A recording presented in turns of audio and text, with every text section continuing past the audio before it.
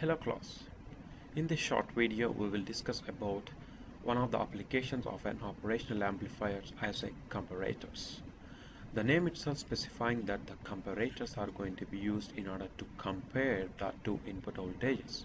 We already aware of that operational amplifier has a two input terminals one is inverting and another one is a non-inverting terminal and, and one output is going to be available so if you apply two voltage levels one is one voltage is at the inverting terminal another voltage at the non-inverting terminal then the output voltage will be depending upon whether the voltage at the inverting terminal is greater than the non-inverting terminal or whether the voltage at the inverting terminal is less than the non-inverting terminal.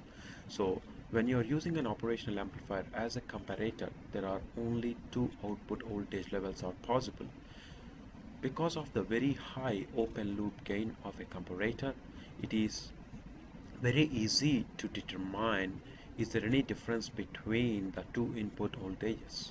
Even though very tiny input differences can be used using an operational amplifier as a comparator.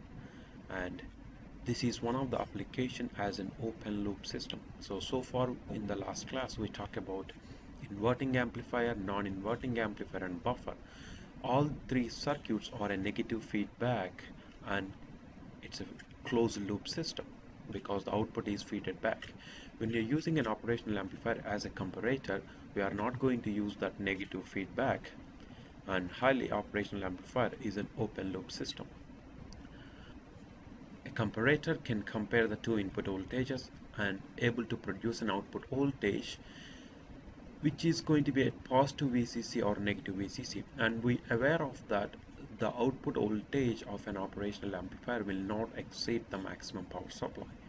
So the output voltage of a comparator is ideally speaking it could be at positive VCC or at the negative VCC or whatever the maximum voltage the op amp can give. If you're using a 5 volts of power supply 5 volts and negative 5 volts then the output voltage could be 4.5 volts or negative 4.5 volts. So op amp without any feedback can be used as a comparator. So especially open loop operational amplifier can be used as a comparator. Because of the gain is very high we talk about the open loop gain of an amplifier is an ideally speaking it's an infinite but practically it's a very very huge then this can be used to detect very tiny changes at the input side. So it is possible that to detect very very small difference if the two input signals can have using this comparator. So just remember this one. If the input voltage so as we are aware of there are two terminals for the op amp. If the voltage at the non-inverting terminal is greater than the voltage at the inverting terminal then the output voltage is always positive VCC. If the voltage at the non-inverting terminal is less than the voltage at the inverting terminal, the output is a negative VCC. So no matter what, what type of open loop circuit that we are going to talk about, just keep in mind that V positive is greater than V negative, then the output is positive VCC or if V positive is less than the V negative then the output is negative VCC so as I'm implying the VCC and negative VCC I'm assuming that the operational amplifier is ideal in nature. Because no op amp or no electric circuit is going to be ideal in nature the output voltage is close to the VCC whether it is going to be positive VCC or whether it is going to be a negative VCC So let's look at the very first application of a comparator as a zero level detector. So a zero level detector is used to identify whether a signal crossed the zero level. We will see why this type of circuit referring as a zero level detector. And it can be used in order to produce a square wave from a sine wave. That's one of the application of a comparator as a zero level detector so if you have a sine wave and if you are willing to produce it to a square wave then you can use a comparator as a zero level detector. So this is the circuit that we are going to use and you can look there is an input voltage Vn is applied to a non-inverting terminal and then inverting terminal is grounded. So ground means that's going to be a zero volts and assuming that the VCC and negative VCC are sufficient this particular configuration is in the open loop system because there is no feedback at all.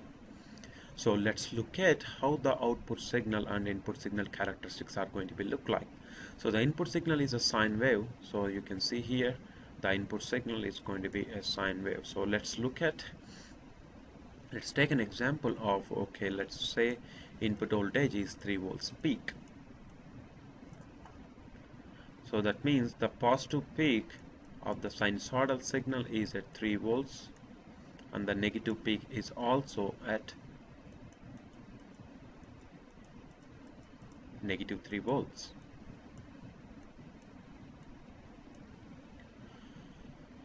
Because in the previous slide we talked about the output voltage is going to be plus VCC or minus VCC depending upon whichever is the input is greater. So let's recap that one. If V positive is greater than V negative then the output is going to be that implies then the output of the op amp is going to be positive VCC. So let's look at the input signal. So this part of the signal is greater than 0 and of course the signal is applied to an inverting sorry non-inverting terminal. Then definitely in this portion of the signal V positive is greater than V negative. Because V positive is greater than 0 and V negative is 0 because V negative is grounded so V negative is always going to be 0 but the V positive is going to be changing because it's a sine wave. So during this case, when the V positive is greater than V negative, then the output is going to be positive VCC. And when you when you can observe, the signal rises towards the V out maximum. So V out maximum is one of the parameter used to identify or to explain what's the maximum output voltage. So as we are aware of, ideally speaking, it is going to be VCC, but practically it is little less than VCC. So the output voltage is a positive VCC. So let's look at when the signal is at 0, when the input signal is greater than 0, then the output rises to positive VCC. If the signal is at the 0, then this output is going to be getting close to 0. And right after that, now this whole cycle of an input signal is a negative value. So in this particular cycle V positive which is a negative value is less than the V negative because negative value is less than 0 so keep in mind that the V negative is at 0 volts. So that's why if the V positive is less than the V negative the output is going to be a negative VCC so the signal will jump right into a negative VCC and it is going to be continue. So these are the two things you need to remember is if the input voltage is greater than 0 and again the input is applied to a V positive or at the non-inverting terminal. If the voltage at the non-inverting terminal is greater than the voltage at the inverting terminal then the output voltage is positive VCC otherwise it is going to be negative VCC. So what happens if we reverse the input? So previously we connected the input signal to a positive terminal we connect the input signal to a positive terminal and the negative terminal is grounded. What happens if we reverse those? So what happens if the input signal is connected to the negative terminal and the V positive is grounded? So V positive is 0 volts and the V negative that's where you apply to an input signal so let's take an let's take the same input signal okay? The input signal is a sinusoidal signal. So let me consider a one single full cycle of a sine wave.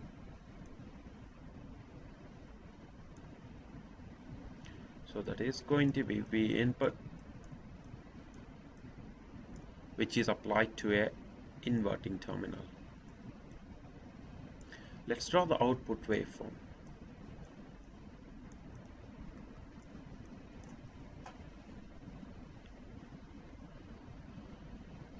so just keep in mind that if the V positive is greater than V negative then the output will be positive VCC.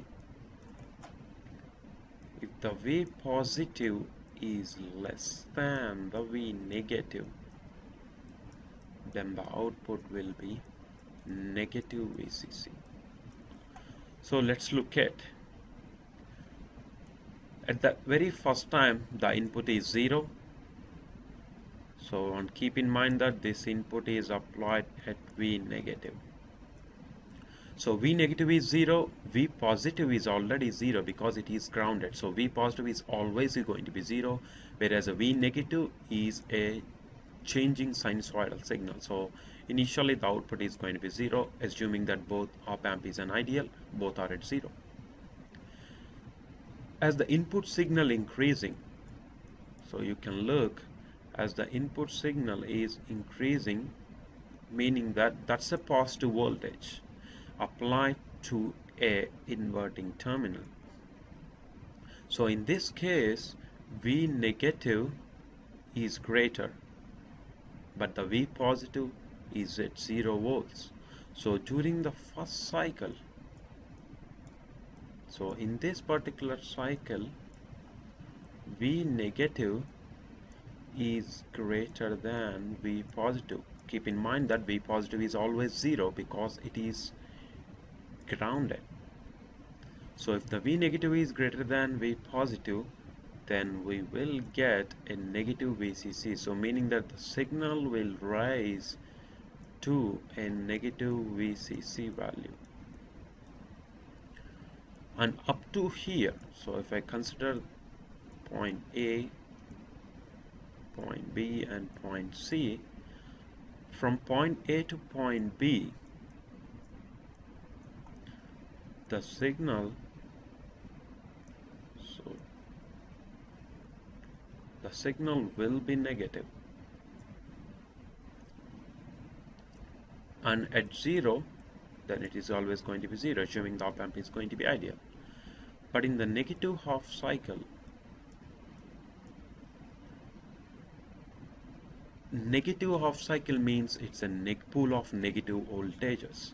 Negative value is always less than 0 so V negative is less than V positive.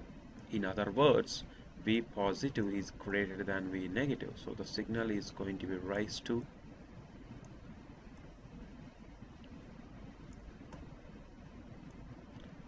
positive VCC so when you compare these two circuits, this one and the circuit we looked at before, the output signal is exactly 180 degrees out of phase.